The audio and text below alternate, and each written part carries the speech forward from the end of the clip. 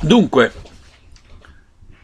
accettare o no che l'articolo 18 dello Statuto dei lavoratori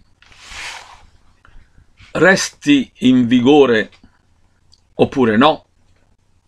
Mi riferisco stavolta non tanto al lavoratore dell'industria o di quanto rientri nella gestione di Cesare, ossia dell'economia, del mondo, di quella parte che traina tutto il resto, del mondo reale, che è un mondo poggiato sulla laboriosità umana.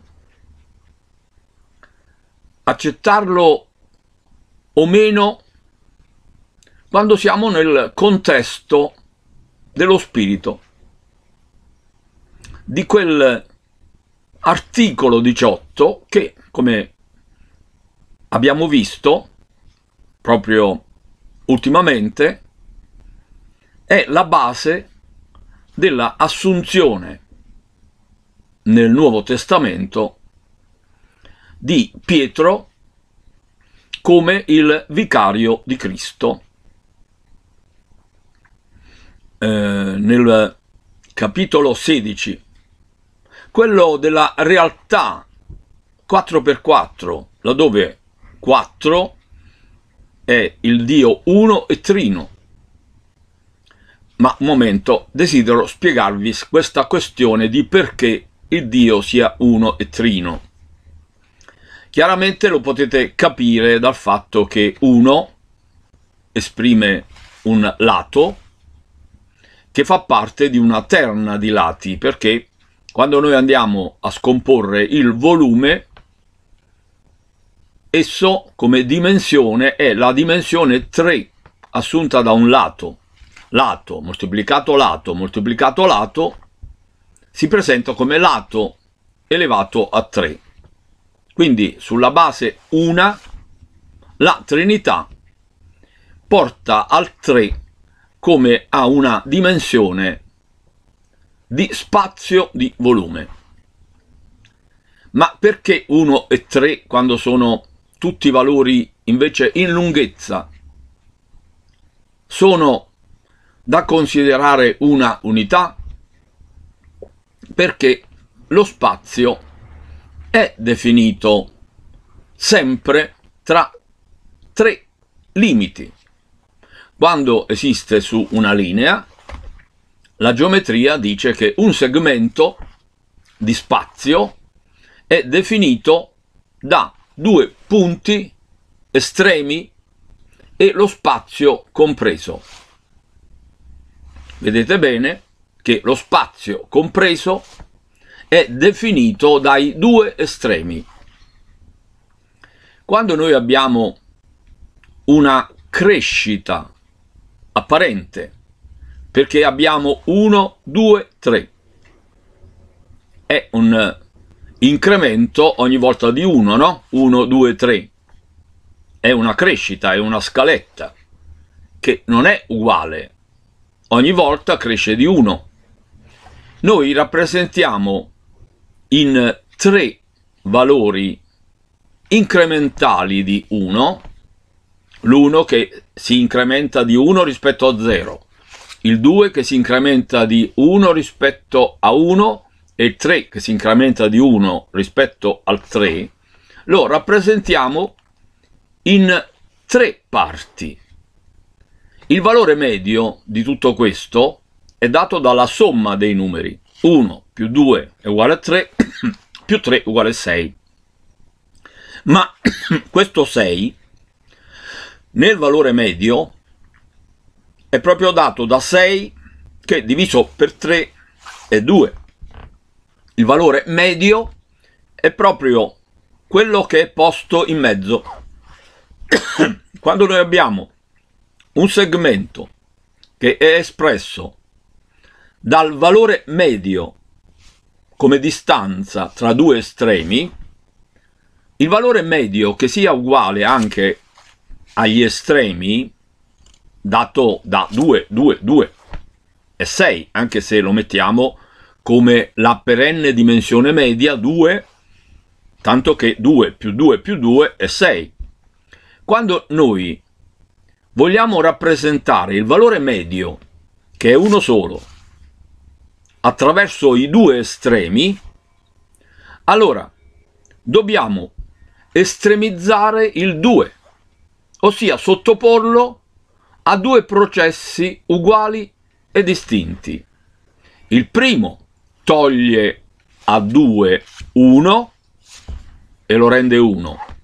Il secondo, quel valore che prima si era tolto, ora lo si aggiunge e diventa 3, in modo tale che 1 più 3, 4, rappresentato da due estremi, sia uguale al valore medio 2.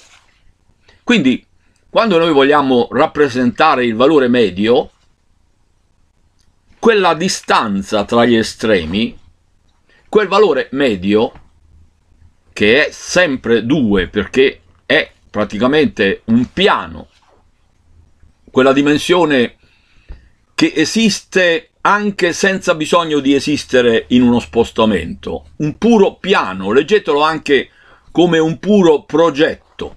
Quando noi si parta da un puro piano, ossia da un puro progetto, che assume geometricamente poi la forma di piano, noi partiamo da due dimensioni. La creazione accade sempre così, perché abbiamo due esseri diversi, maschio e femmina, che si uniscono e determinano una prole. Ecco, la vita si costruisce in questo modo e quel figlio che viene fuori dai due è simile al flusso 1 che scaturisce da un piano tra due. Ma quando noi considerassimo soltanto il figlio 1 senza l'altro estremo che abbiamo tolto dal 2 per avere 1, infatti 1 è la relazione tra 2. 1 è 1 diviso 1, n diviso n è 1 ma è dovuto da 2, è il figlio di 2 che sono in combutta tra di loro e determinano un 1. Però se in questo 1 che appare solo nel numeratore noi non consideriamo più la presenza del denominatore, allora dobbiamo tenere conto anche di una condizione esattamente contrapposta a quella 1, che è quella 3, tale che 1 più 3 uguale 4 espresso tra 2 sia il valore medio dato da 1 più 3 4 espresso da 2 e dunque 4 diviso 2 uguale 2. Ecco tutto quello che bisogna tenere conto quando noi parliamo di un Dio uno e trino. Il Dio uno e trino sta solo nella sua funzione paterna di Padre e Spirito Santo, che nel mondo reale è poi rappresentato da un Padre, origine, e da uno Spirito Santo che si lega all'aspetto femminile, essendo lo Spirito Santo praticamente la donna. Lo è, perché la donna è realmente l'immagine dello Spirito Santo. Nella nostra religione, la cattolica, la donna è la Madonna, la quale è l'intermediaria reale sempre tra due amori contrapposti. L'amore per il compagno, che vorrebbe avere l'esclusiva dell'amore della compagna, che però, grazie all'amore che ha per la compagna, vede uscire dalla compagna un figlio della donna, che esce dalla donna e diventa il rivale del padre. un vero e proprio rivale nell'amore se la donna non fa da giusto tramite tra l'amore per il compagno e l'amore per il figlio. La donna è l'intermediaria, quella condizione unitaria che esiste ed è espressa da quell'unico ovulo che esiste contro il padre che invece è ricchissimo in se stesso di vita, di iniziativa.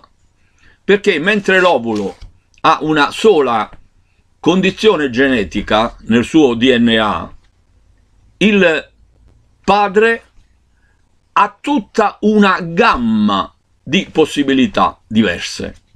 E esiste proprio all'interno del padre una gara incredibile che la vediamo poi all'atto pratico come tutta quella corsa espressa naturalmente dagli spermatozoi che vanno alla conquista di quella roccaforte che è l'ovulo e il primo che riesce a superare quelle mura, a entrare nella città, ne diventa il re. Tutti gli altri defungono.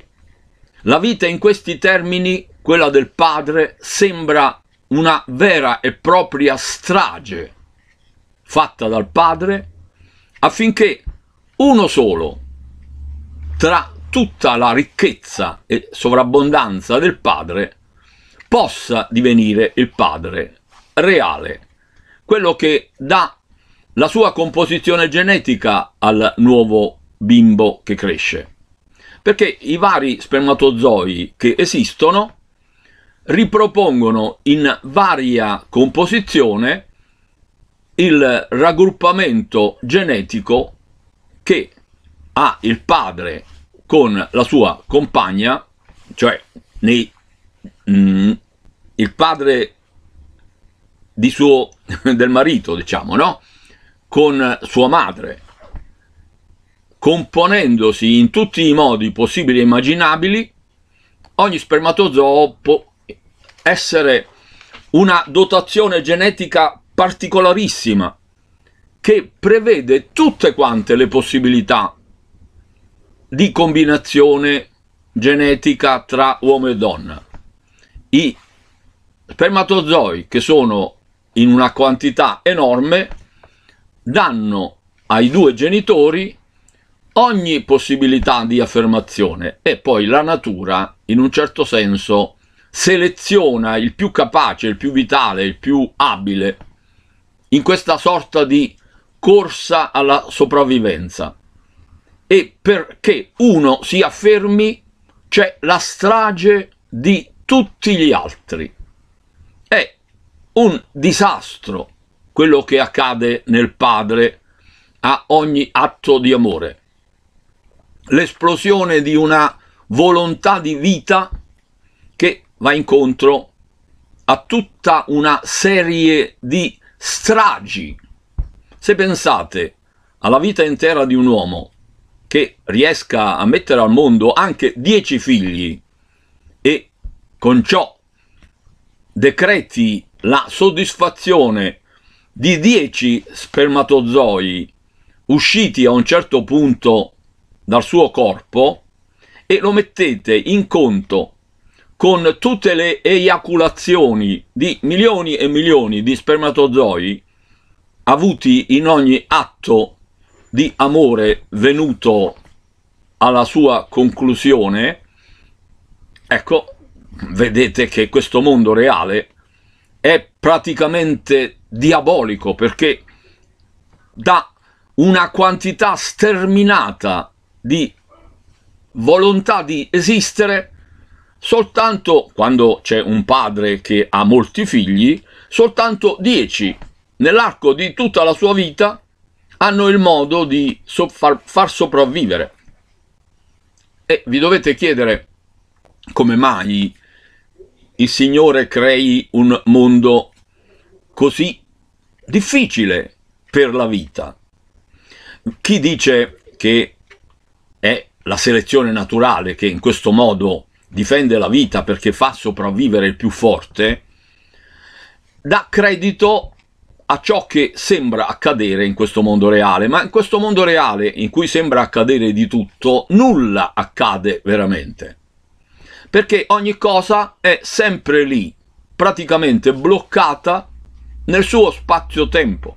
E quando noi vediamo che quel qualcosa evolve, è semplicemente perché spostiamo la nostra attenzione da quello che è disegnato in quel punto di spazio-tempo su quanto è disegnato lì vicino e vedendo prima l'uno poi l'altro noi abbiamo l'impressione che sia la stessa cosa che si sia spostata.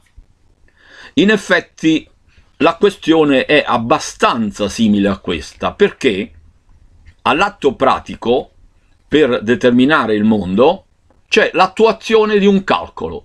Questo sta alla base del mondo un calcolo 10 diviso 9 che a mano a mano che avanzano i tempi del calcolo che portano al valore in centinaia, in decine, in unità, poi in decimi, in centesimi, in millesimi e si aggiungono tempi decimali a tempi decimali, praticamente all'aggiunta di ogni tempo decimale nella linea del flusso corrisponde nella sezione del flusso praticamente una immagine che si sostituisce all'altra.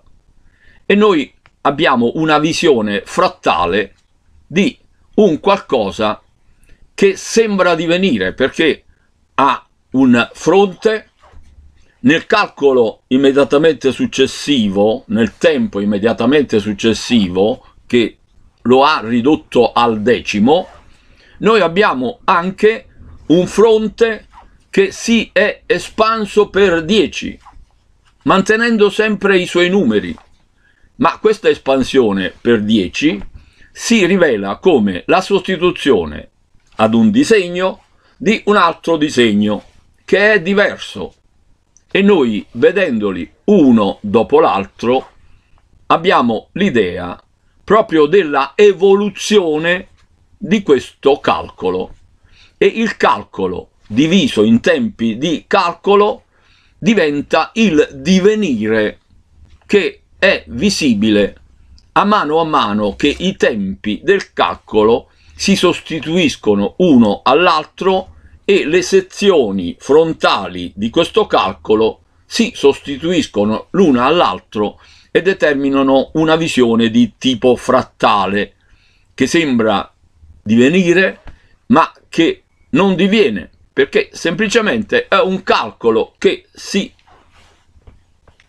ecco quando c'è questa verità del calcolo alla base di tutto tutto è coerente tutto quello che noi vediamo non dipende da altro che da questo calcolo. La nostra volontà sul calcolo non ha nessun influsso e non può averlo. Noi abbiamo però il ruolo come spiriti che osservano e fanno proprio il disegno descritto attraverso questo calcolo di interagire con questo mondo virtuale creato usando i numeri da Dio, ossia dal valore fondamentale che esiste, ed esiste perché esistiamo noi, ne abbiamo la certezza che un qualcosa esiste dal momento che noi esistiamo. Quindi alla base di tutto c'è questa forza di esistenza in sé che Dio descrisse proprio ad Abramo, a, a Mosè come io sono chi sono, ossia sono l'essere di questo mio essere. Ecco, anche io sono l'essere di questo mio essere, ma l'essere è l'essenza fondamentale, la causa del mio essere relativo. E Dio si descrisse proprio così. Egli era ed è l'essere di ogni essere. E ognuno di noi essendo così, l'essere del proprio essere, noi abbiamo il proprio essere come il personaggio e l'essere del personaggio sta nel movimentatore del personaggio, ossia da quell'attore che si fa carico di un personaggio teatrale e mette in scena quel disegno che è dovuto non all'attore ma allo scrittore dell'opera, regolato dal regista dell'opera. E con ciò l'attore è necessario perché pone atto al disegno divino. Se lo pone atto proprio legando se stesso alle intenzioni non del personaggio, ma dell'autore dell'opera, allora abbiamo un attore che ha capito che sta partecipando a una opera che ha un padre. Se non capisce che il fine è la totalità dell'opera, ma capisce che il fine è il personaggio che sta interpretando, non ha capito niente, perché darà anima al personaggio legandosi nei suoi interessi al personaggio e non arrivando più a capire che è compartecipe ad un'opera. E se la sua parte è buona, cattiva o no, non è suo compito, perché in un'opera che sia vincente ci deve essere descritto un male che deve essere superato e qualche attore deve interpretare la parte del cattivo. Allora a questo punto l'attore che diventa chi mette in atto il personaggio cattivo lo fa, ma non lo fa proprio. Lo fa sapendo che è, esiste questa necessità che non corrisponde minimamente alle sue intenzioni. E la vera libertà dell'attore sta proprio quella di dire sì o no, le faccio mie, proprie o no, le cose che l'attore deve dire, deve fare perché un altro gliele ha descritte, pianificate. Quando Gesù dice dite sì o no, il di più è del maligno, è come se dicesse all'attore tu sei chiamato a dare vita a un assassino. Quando vedi il tuo ruolo il tuo personaggio compiere un assassinio, dici no, io lo compio perché sono qui che sto partecipando a un'opera, ma io se potessi non mi piace questo che sto facendo, prendo le distanze da quello che sto facendo. E in questo modo Dio lascia libere, veramente libere, tutte le anime sue che sono chiamate alla rappresentazione tragica che è in atto. È una rappresentazione talmente tragica, come vi sto dicendo, che dei miliardi di miliardi di miliardi di soggetti vitali, di tutti gli spermatozoi eiaculati da un uomo nell'arco di tutta la sua vita, se è un padre di dieci figli, soltanto 10 arrivano in, a sopravvivere. Sembra un mondo crudele, sembra un mondo cattivo, ma non lo è, è solo un disegno che Dio vuole per poner, porre le cose sentimentali in modo concreto. Cosa significa? Che Dio, puro spirito, concepisce l'amore ma quell'amore che sia solo sentimentale, che sia basato solo su proprio uno stato d'animo di chi ama e non abbia modo di esprimersi in una concretezza, è limitato solo a un aspetto praticamente ideale e non entra nel campo di una determinazione, di una concreta delimitazione di soggetti limitati. Quindi la incarnazione in un soggetto consente all'uomo un amore tra soggetti reali che abbiano modo di scambiarsi un amore reale, un amore concreto. E dunque la creazione di Dio sta nel determinare questa concretezza che è un limite che però è un limite creato apposta per superare quel limite. È il peccato originale che è necessario per una redenzione spirituale di ogni animo che sia chiamato a interpretare una parte qualunque determinata e a salvarsi da essa proprio in modo elettivo. Devo fare questo, vedo fare questo, ma io non voglio. Oppure io voglio. In una condizione in cui tra il volere e il potere vero non c'è nessuna, nessuna, nessuna corrispondenza. C'è solo la corrispondenza formale, perché in realtà, ripeto, esiste come un film in cui c'è un fotogramma in cui per esempio c'è un padre e dall'altro c'è un padre che ha avuto il figlio.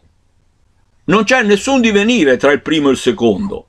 Sono due frammenti diversi di un modo di essere. C'è questo essere e quest'altro essere. Se io li metto in sequenza, un uomo senza figli e dopo un uomo con il figlio, ecco sembra che l'uomo ha avuto un figlio. Ma ci sono sempre tutti i casi possibili e immaginabili all'interno di Dio.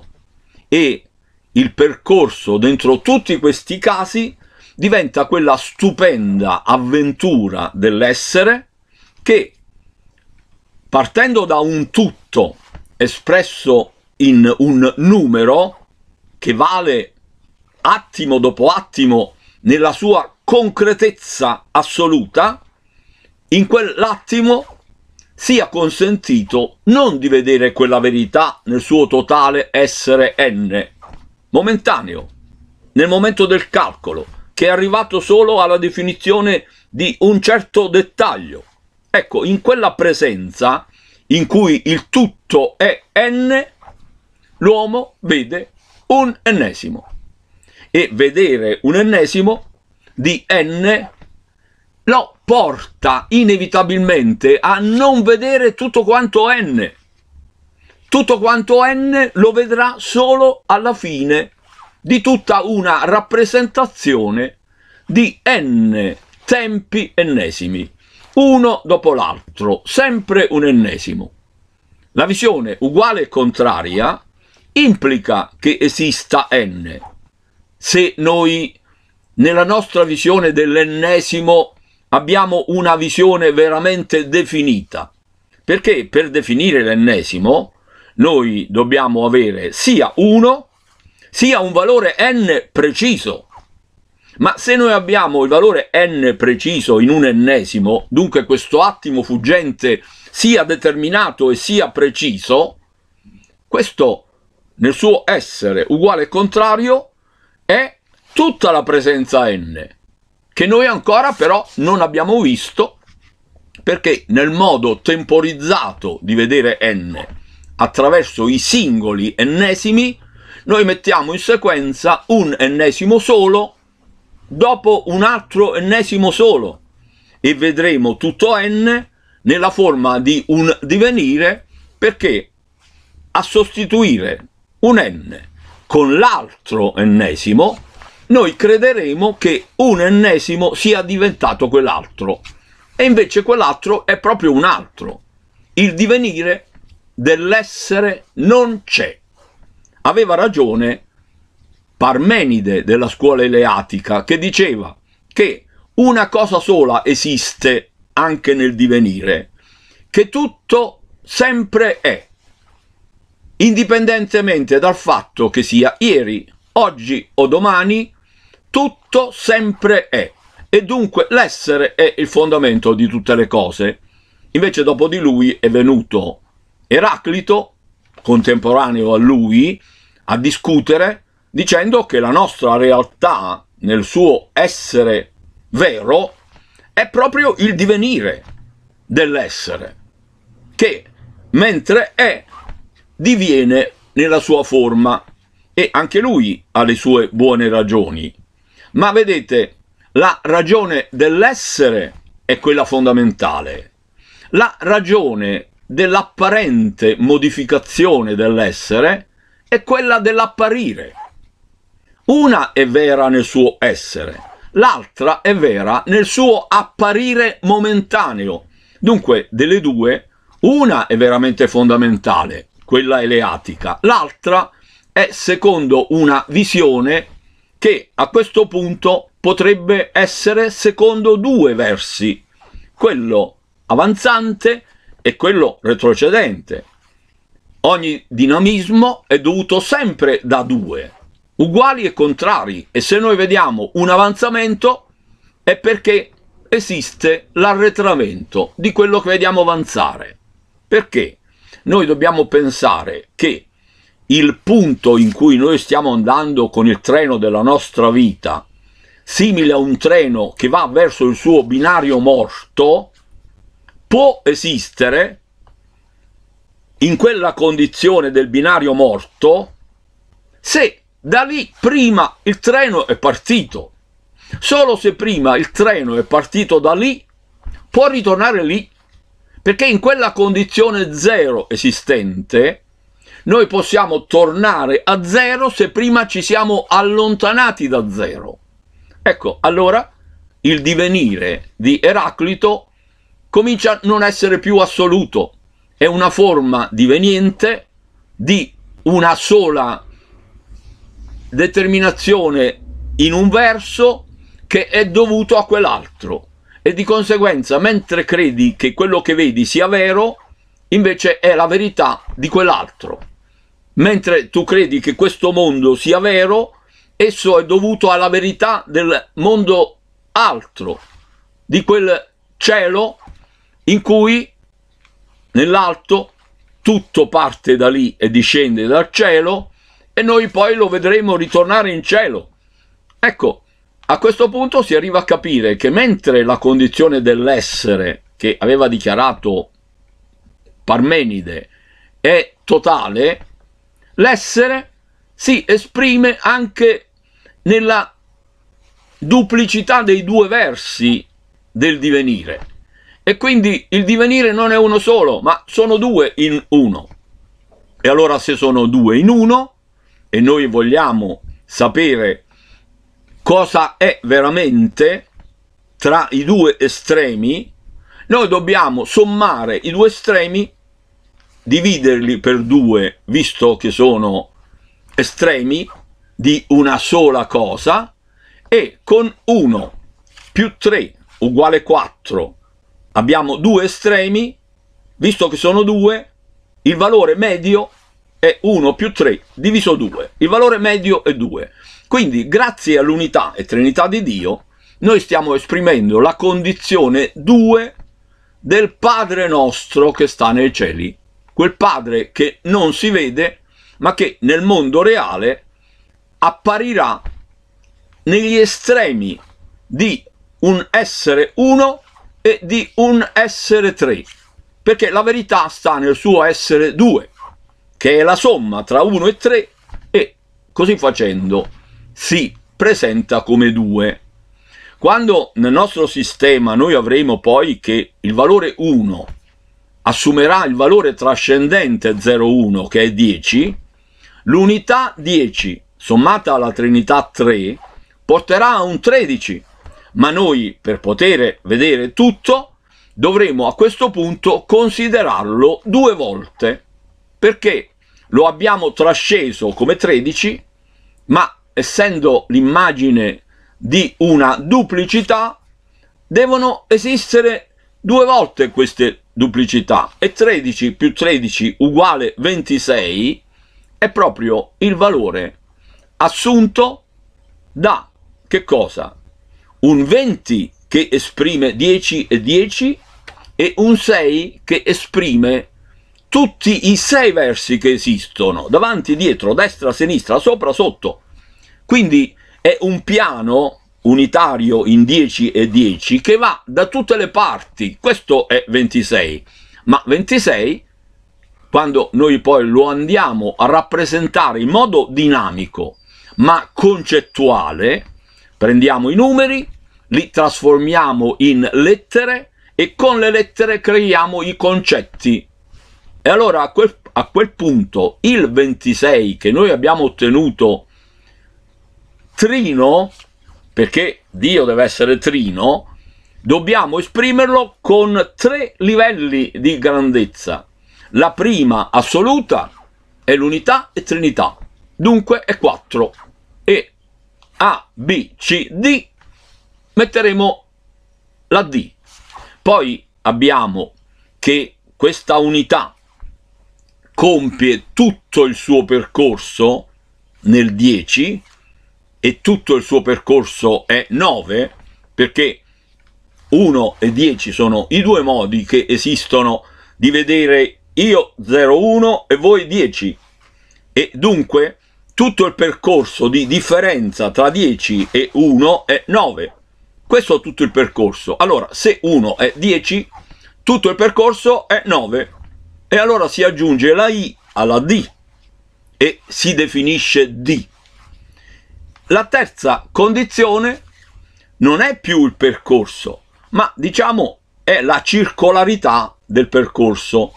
È proprio l'unità e trinità come 10 più 3. 13 ancora, perché D, dato da 4 più 9 è 13. Quindi abbiamo un 13 dato dalla D e un 13 dato dalla O e viene fuori un 26 a dimensione 3, in cui l'ultima è a dimensione intera 13 e le prime due si definiscono una come le quattro dimensioni e l'altra come tutto il percorso delle quattro dimensioni. E in tal modo la struttura dinamica intera assume il significato proprio posto attraverso quei valori di dinamismo che si esprimeranno con il termine di Dio.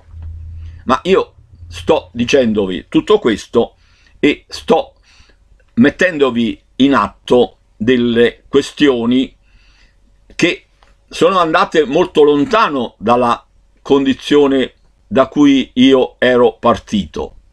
Da che condizione io ero partito? Dunque,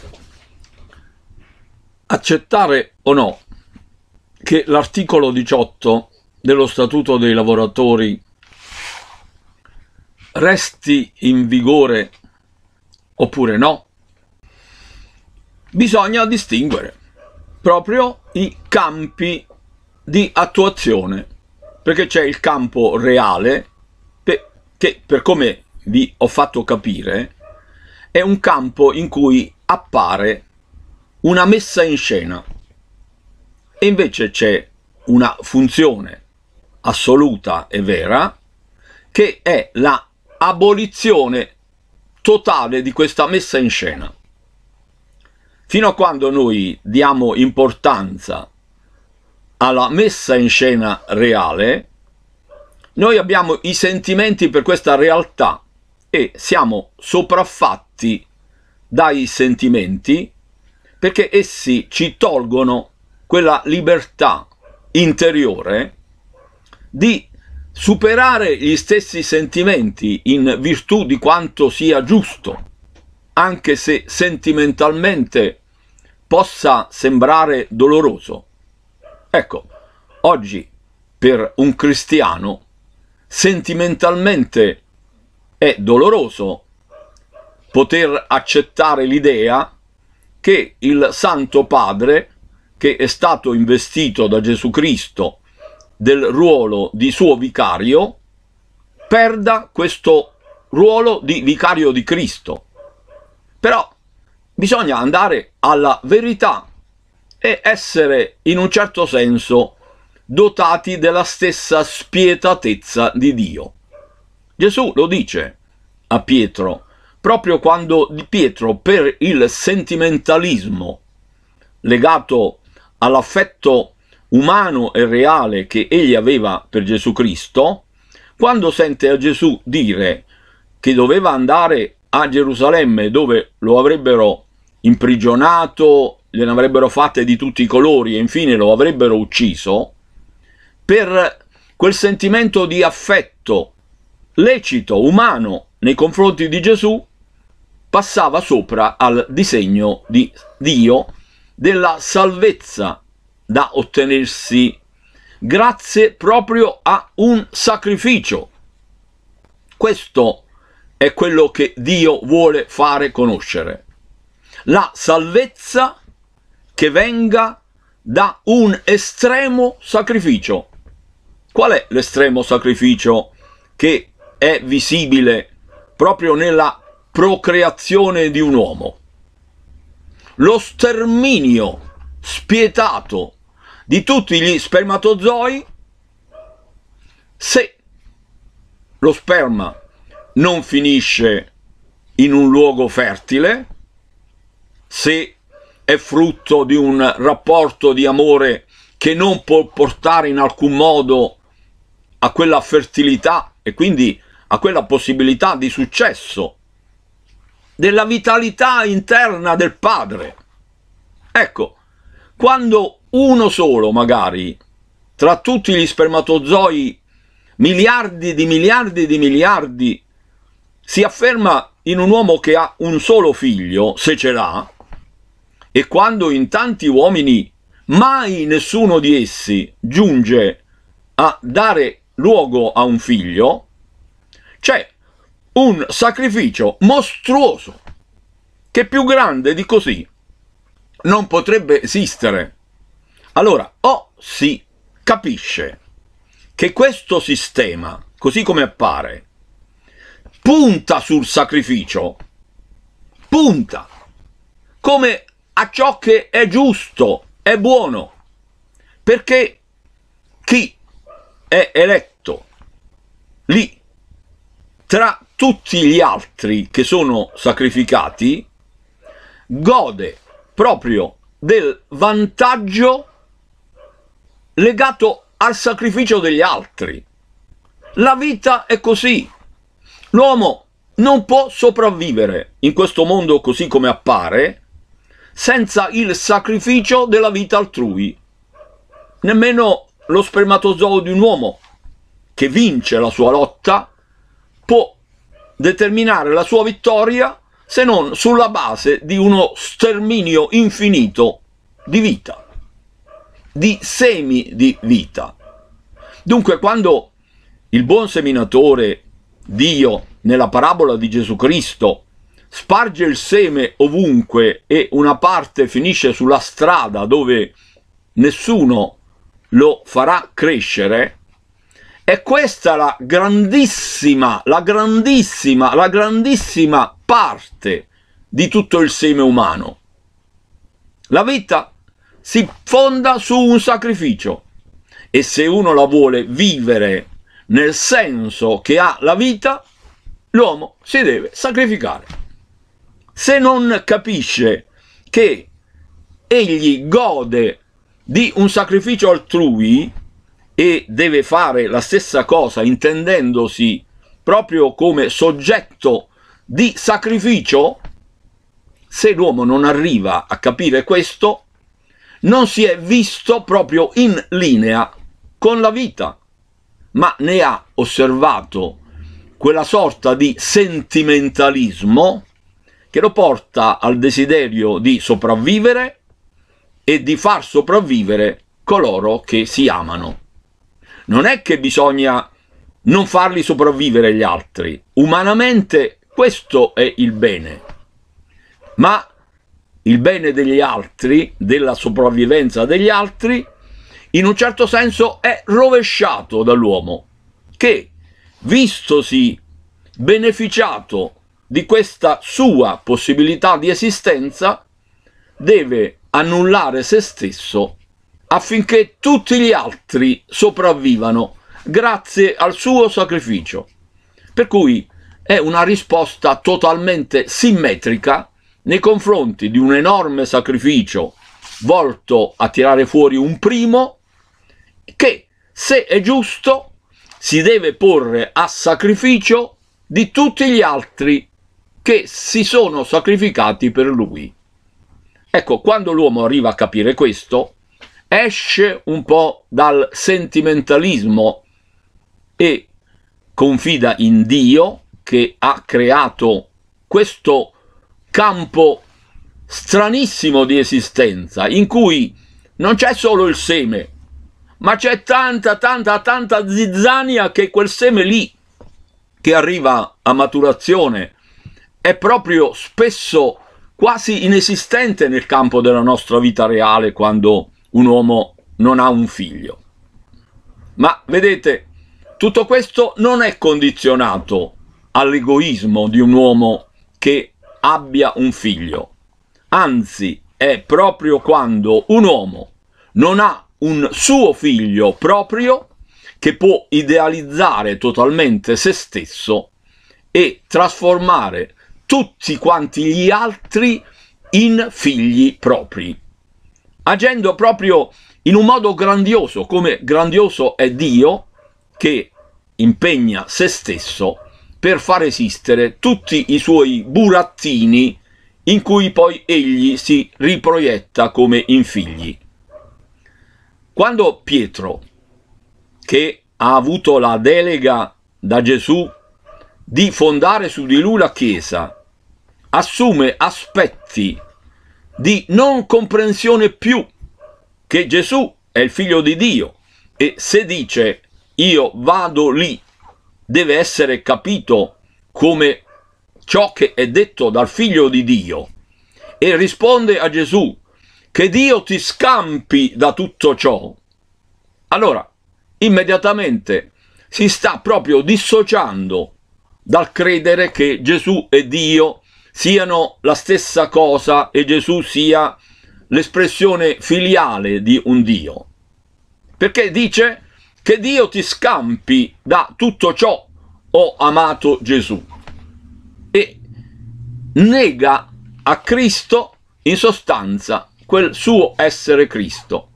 E in questo aspetto diabolico, assunto da troppo amore di Pietro, Gesù prende totalmente le distanze e smaschera come satanico quell'atteggiamento.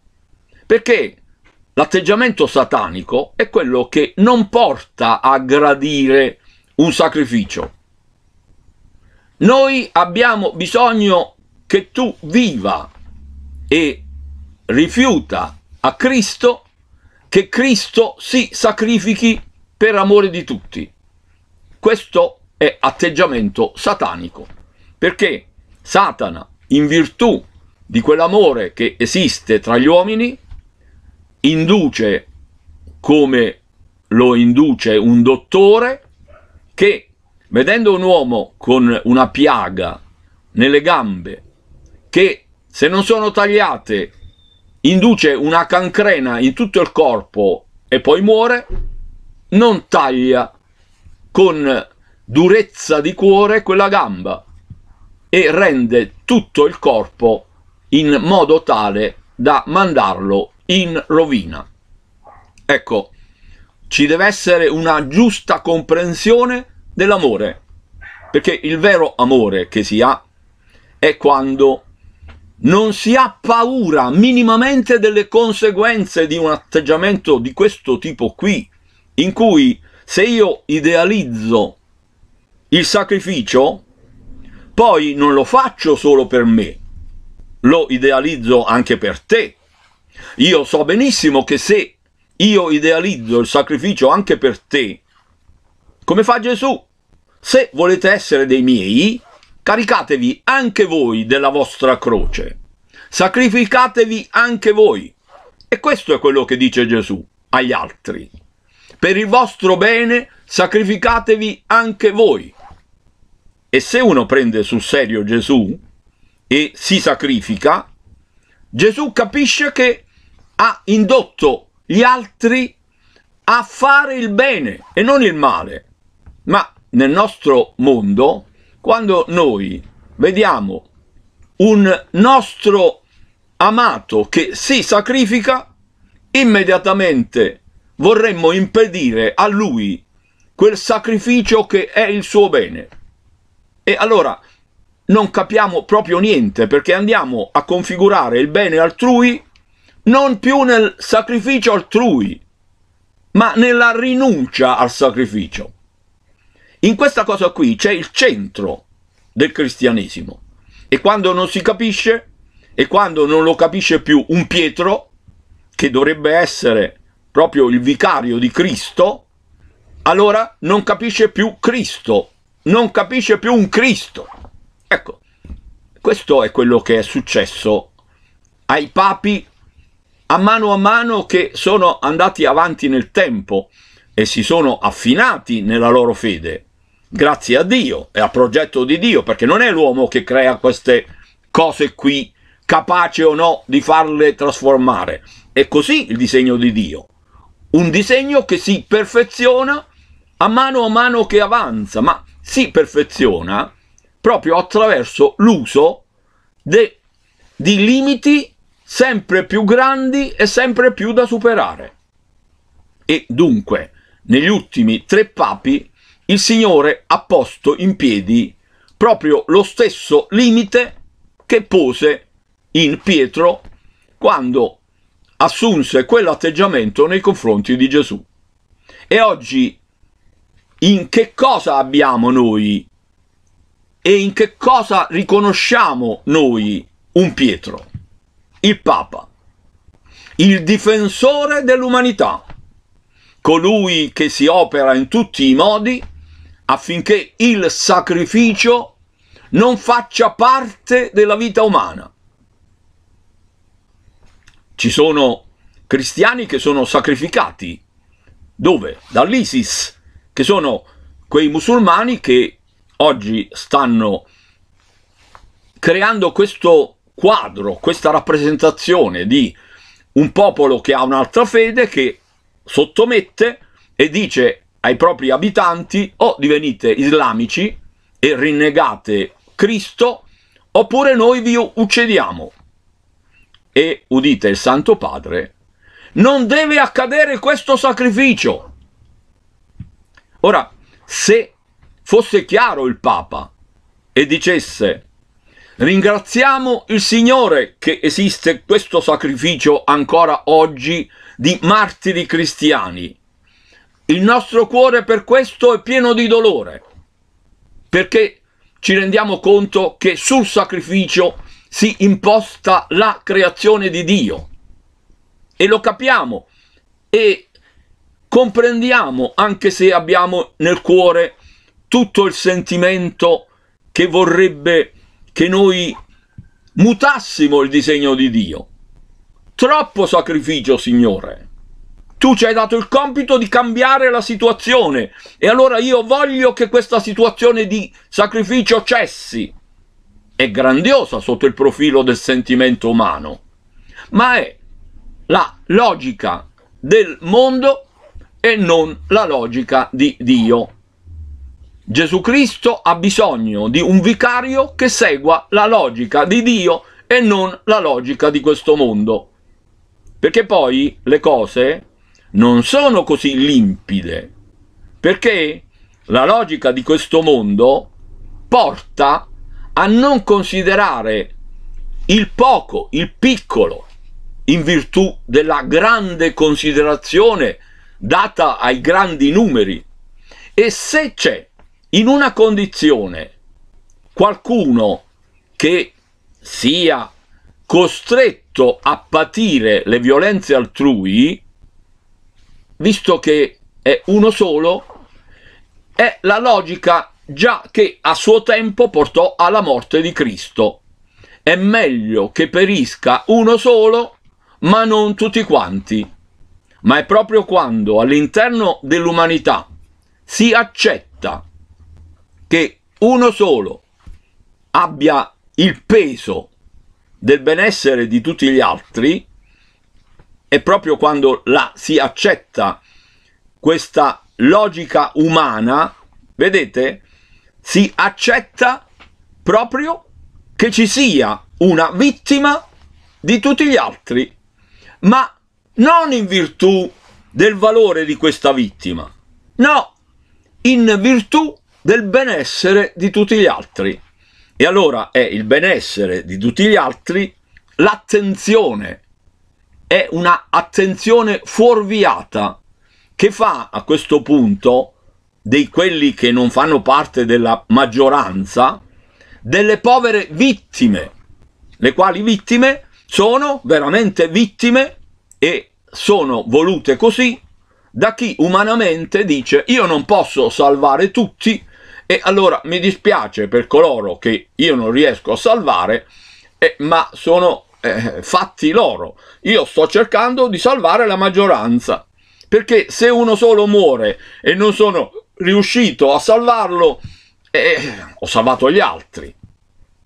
Questo nella presunzione di essere noi i salvatori degli altri, eh, ci porta ad accettare l'idea che uno non sia salvato. Io quello lì non lo voglio salvare, perché se io volessi salvare lui, dovrei mandare tutti gli altri a ramengo.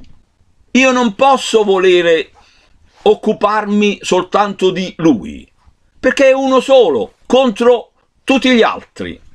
Se io mi accorgo nella satanica presunzione che tutto dipenda dalla mia azione, che la mia azione a favore di uno danneggi tutti gli altri e io poi non faccio niente per quello lì, non volendo fare niente per quello lì, proprio perché spinto dall'opportunismo, io, nella falsa idea che mi ha indotto Satana, che sono io che faccio, ho evitato di volere intervenire a favore di uno, proprio perché è uno che non conta niente nel confronto di quanto contano gli altri. La logica di Cristo è perfettamente rovesciata rispetto a questa. Se c'è uno, quello lì è più importante di tutti. Ognuno è più importante di tutti ma essendo ognuno più importante di tutti, sono salvati tutti, perché non esiste un tutti che non abbia dentro tanti uno. E se non si salva e non si vuole il bene di ciascuno, non ci può essere un gruppo grande, grande, grande che è amato, se si accetta che uno solo finisca male chi è buono ha la volontà di salvare tutti, sapendo anche che è impossibile, ma non lasciandosi dominare dal fatto che sia impossibile. E l'uomo a questo punto arriva a volere l'impossibile. Volere l'impossibile è la vera libertà che l'uomo ha, perché non si fa condizionare dal fatto che sia possibile oppure no. Perché se l'uomo si fa condizionare dal fatto che una cosa che noi vogliamo sia possibile o no, e allora vogliamo solo una cosa che è possibile, noi siamo opportunisti, perché scegliamo cosa volere non sulla base della nostra libera volontà, ma sulla base dell'opportunismo. Ecco, dunque, poiché Dio punta al nostro agire spassionato per il vero bene di ciascuno, e il vero bene di ciascuno si ha quando quel qualcuno lì è convinto egli pure a caricarsi della sua croce, allora l'intenzione che si deve avere è di abbracciare chi è lì messo in croce, perché riconosci che è a immagine di Dio e più vedi uno martoriato, angariato e sottomesso, più lo ami, più gli vai incontro, più lo abbracci, più curi tutto lui. Gesù lo descrisse nella pecorella smarrita. Il buon pastore, quando sa che una pecorella si è smarrita, abbandona tutte le altre e la va a cercare e quando la trova raduna gli amici e fa festa. Avevo smarrito una pecorella, l'ho trovata. Ecco, ho una dramma perduta, una moneta, che è caduta sul suolo sconnesso e si è infilata lì magari tra le mattonelle. E allora la padrona di casa spazza, spazza, spazza nel cercare questa moneta. E poi finalmente la vede lì, nascosta tra le fessure di due, la prende, raduna le amiche e fa festa. Gesù vuole che si vada a cercare chi non conta niente, chi è la vittima. E perché? Per fargli festa. Perché è nell'immagine di Cristo. Un papa che non va a cercare la pecorella smarrita, che è a immagine di Cristo, è un anticristo. C'è poco da fare, è un anticristo, perché Cristo esalta i piccoli, se un papa non esalta i piccoli perché non contano niente, essendo opportunista, perché pensa ai grandi numeri, e allora anziché destinarsi a dare umilmente aiuto a un poveraccio, dice, ah, il mio compito è immenso, io ho a cura tutta l'umanità, e allora non fa niente per nessuno perché si preoccupa soltanto di parlare in televisione, di muoversi e parlare alle folle oceaniche. E così facendo crede di potere a ampio raggio, ma quel contatto a tu per tu con quel poveretto che non ha altro nella sua vita che la speranza di incontrarti, perché ti ama ed è a vera immagine di Cristo, perché è un povero tartassato, è uno che non conta niente e vuole vederti, e tu lo respingi, non lo cerchi e sentendolo che ti chiama fai finta di non udirlo e ti credi corretto rappresentante di Cristo o, caro sua santità, non ti accorgi più che il tuo regno non è il regno di Cristo. Gesù fu chiarissimo. Volete sapere qual è il controllo da fare se state seguendo o no quello che io dico? Cosa dicono di voi? Vi lodano? E allora state bene attenti, perché se vi lodano significa che voi state seguendo la loro logica e non quella di Dio. Ecco, quando sono morti gli ultimi papi, c'erano i re del mondo tutti a lodare il Papa e se tutti lodano il Papa è perché il Papa ha sposato interamente la logica del mondo. Quel peccato che Gesù aveva rimproverato a Pietro perché per il fatto che egli sarebbe morto si opponeva. Ecco, e fino appunto da dire va de retro Satana, Ecco, quel peccato lì si è istituzionalizzato nel Vaticano. Il Pietro non fa altro che quello, è totalmente divenuto così e allora non rappresenta più minimamente Cristo perché, e io sono testimone, io mi sono posto come pecorella smarrita. In tre occasioni non ho digiunato, non ho mangiato per 193 giorni sotto tre papati mettendo la mia vita nelle mani del Papa, come la pecorella smarrita, e non mi ha cercato.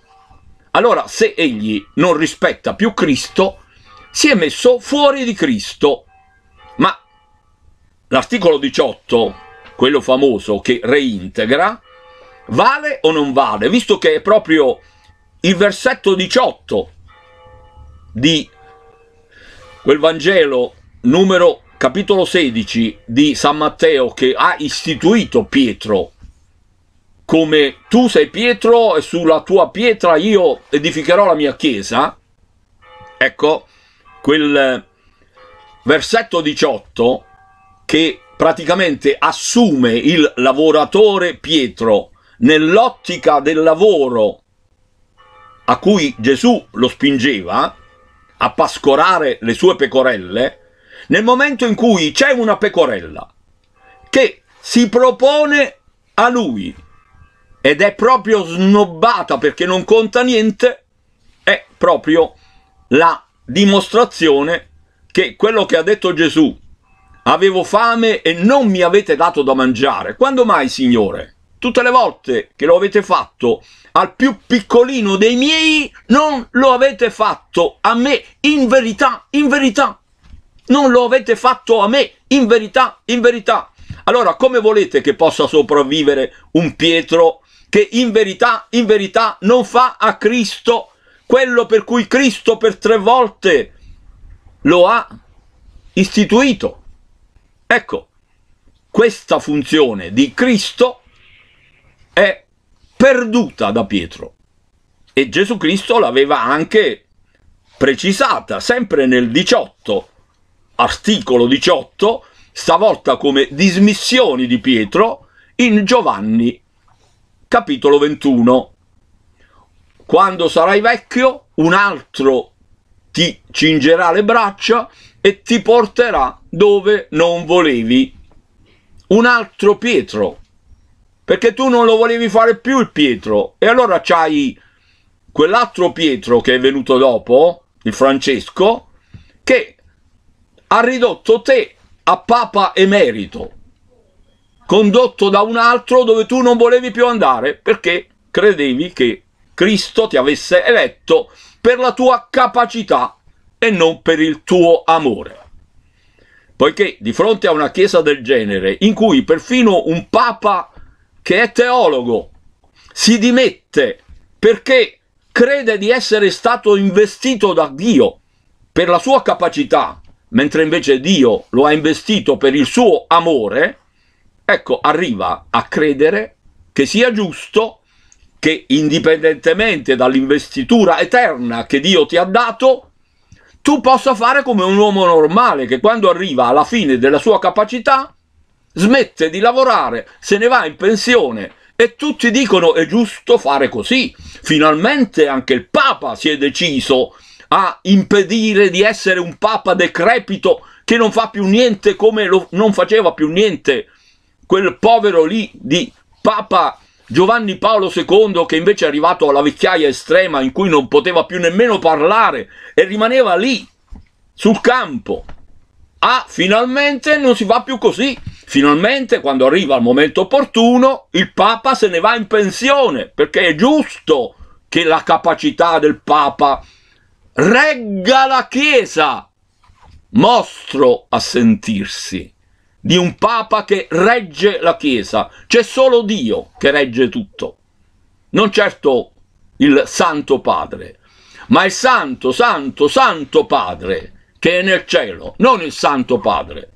Questo Santo Padre è una configura che vale se configura, se è la controfigura voluta da Cristo, ma se non è più nemmeno questa controfigura perché fa le cose che crede lui in virtù del suo credere umano, non è più degno di reggere il regno di Dio su questa terra ed è tolto di mezzo.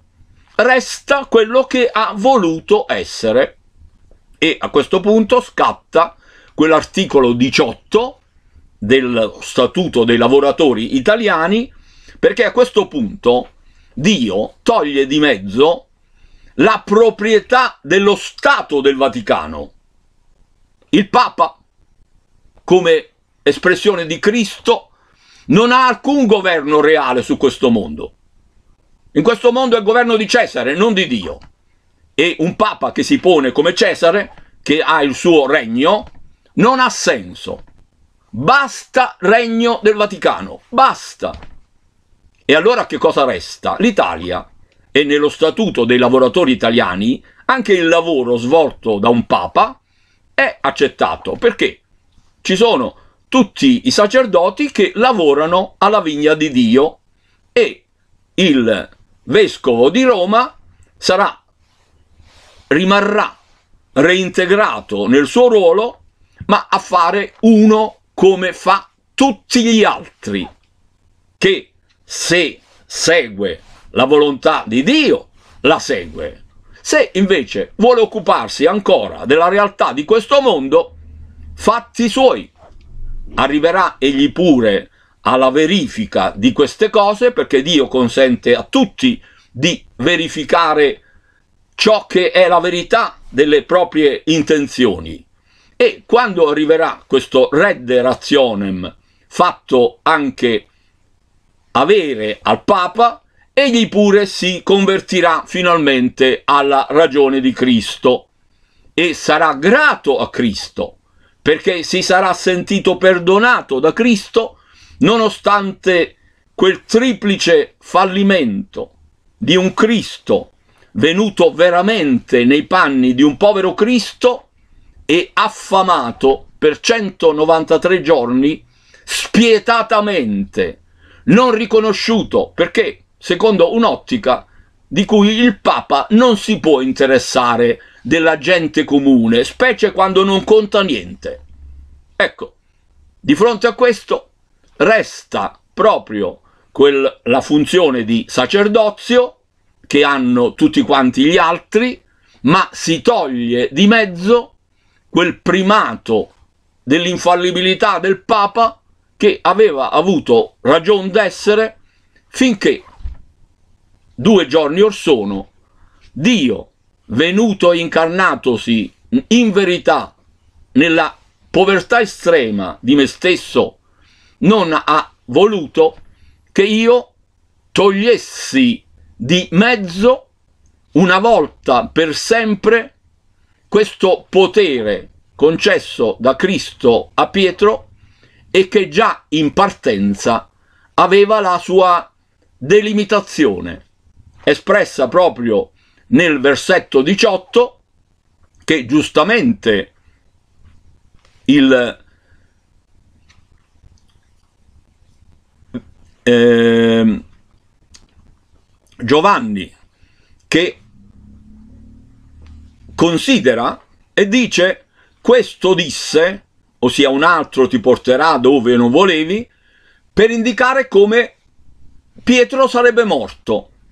Non disse solo questo, anche come questo incarico dato a Pietro, incarico divino, sarebbe morto. Sarebbe rimasto poi Pietro in tutta la gerarchia che esiste nella fede come è ogni altro uomo.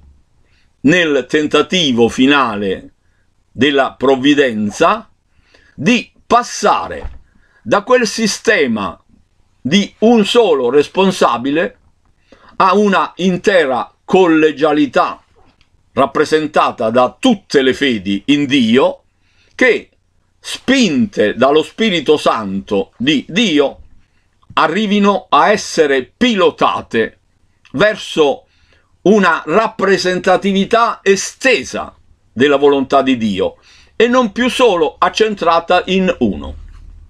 Come la nostra società è passata dai regni ai presidenti della Repubblica, allo stesso modo Dio vuole passare da quel rappresentante unico tipo re nella fede a un sistema esteso, generale, è ostacolato da un re, perché il dominio non può essere più di un re, deve essere di una collegialità. E su queste linee già da tempo è avviata la Chiesa. Quanti nella Chiesa cattolica oggi danno ancora importanza a quella delega a Pietro di rappresentare in se stesso tutta la Chiesa. Quanti?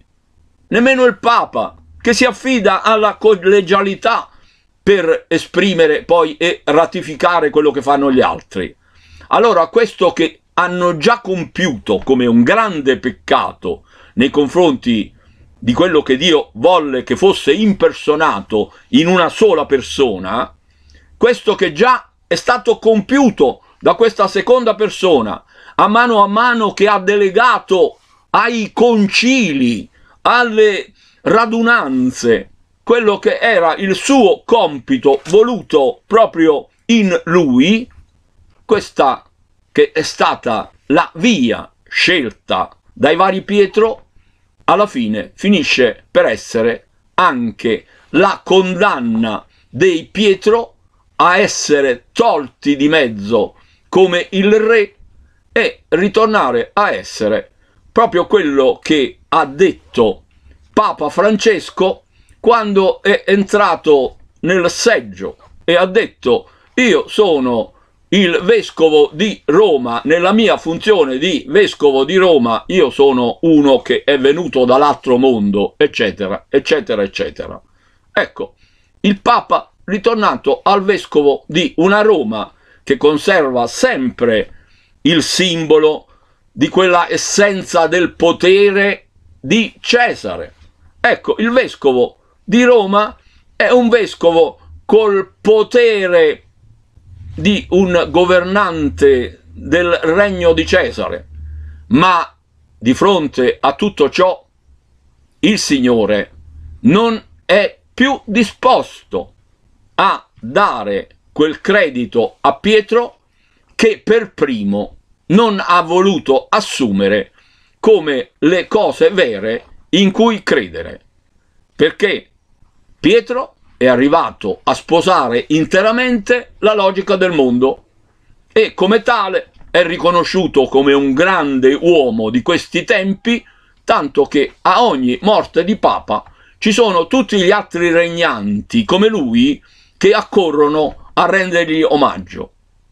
Gesù l'aveva detto, quando tutti vi lodano state attenti perché non state più dicendo le cose che dico io.